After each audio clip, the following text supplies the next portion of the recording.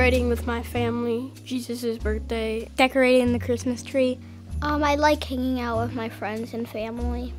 Every time when my my elf comes to my house, like his name's Tom, Tom the elf that sits on the shelf. I like to play in the snow because we go to different states. Like Chicago, one time we went there and there was like a lot of snow on Christmas. Where we get the food.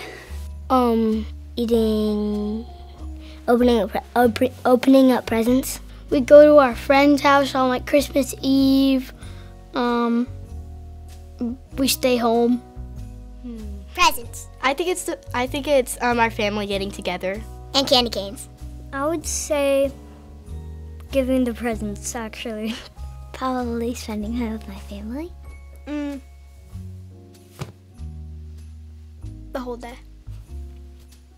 You don't have to raise your hand. Um, probably when we get to come together and go around and open our presents. Celebrating Jesus and opening presents. Every Christmas morning, instead of eating like cereal breakfast, we eat cinnamon rolls. So that's fun.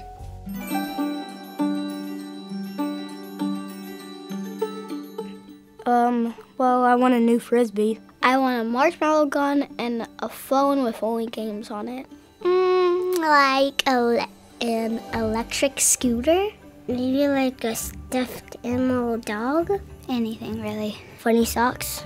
I want an Xbox and like a new bat. A Nintendo Switch.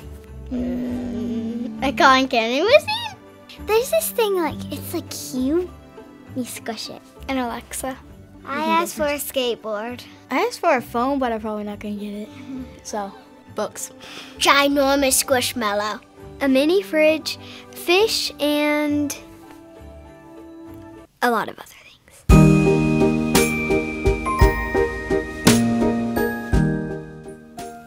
Sorry.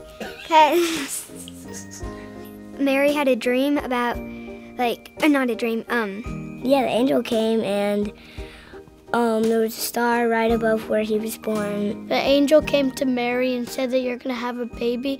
So they like traveled um to this place and there was no more room and then The angel appeared to Mary and said she was gonna have a baby. They, something happened, and then they had to go to Bethlehem.